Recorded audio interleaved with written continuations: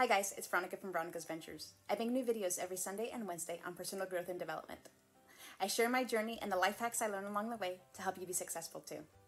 Stay tuned for today's episode. What is a mind map? Mind maps are a visual way to organize concepts and ideas so that you can see the complete overall view of all your information.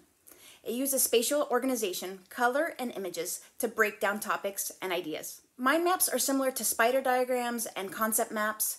The key difference is that mind maps tend to be more rigid in their structure, but essentially they're the same thing. How do mind maps help us? Well, they're quick and simple to make, and they're easy for our brains to understand because they closely mirror how our brains are structured.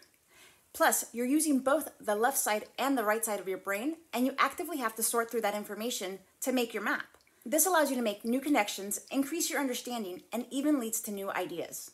Additionally, a mind map forces you to focus on a topic and review what you know as you organize it. And thanks to its colors, pictures, simple keywords, and spatial organization, it's easier for our brains to remember. Plus, just making the mind map increases your ability to recall the information. You can't go wrong. These benefits make it ideal for brainstorming, writing, taking notes, and studying. How do you make a mind map? Well, there are four key steps involved in creating a mind map. Step number one determine your main idea. Easy peasy. Step number two, create the basic structure for organizing your ideas. So you want to use radiant thinking. Start from the center and radiate outwards. So your key concept is going to go in the middle. Then you'll radiate out to the main branches known as basic organizing ideas or BOIs. Next, you want to fill in additional details. So those BOIs will radiate further out to subcategories, which will sit on smaller branches. Those smaller branches are connected to the BOIs, which are connected to the key concept. It really sounds more complicated than it actually is.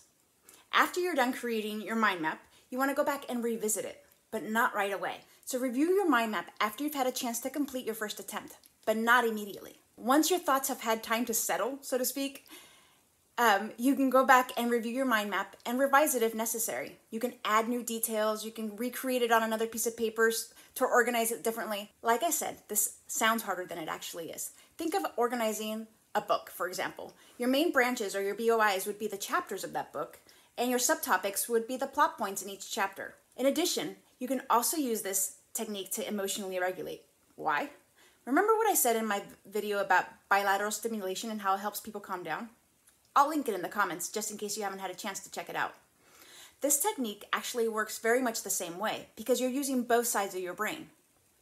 I had never thought of using it this way until my therapist had me do it in session, and it was pretty awesome. I couldn't believe the amount of perspective and clarity and even just getting it all out and it was really reduced that anxiety. What are some awesome. tips and techniques to get the most out of the experience? First, you want to make sure you draw quickly and uncritically. Get a large sheet of paper and just go.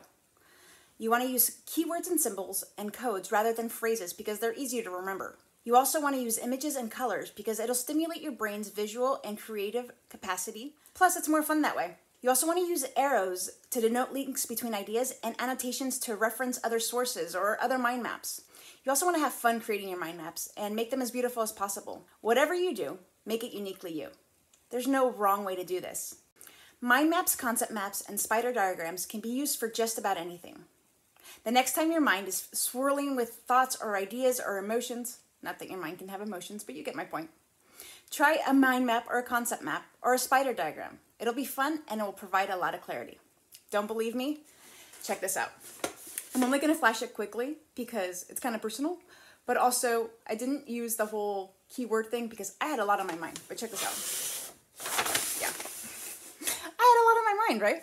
Anyway, guys, thanks so much for watching. If you got anything from this video, please leave a comment below and subscribe to my channel so you don't miss any new content. You can also find me on Facebook, Instagram, YouTube, Twitter, and Clubhouse, and at veronikaventures.com. Thanks, guys. Have a great day. Bye.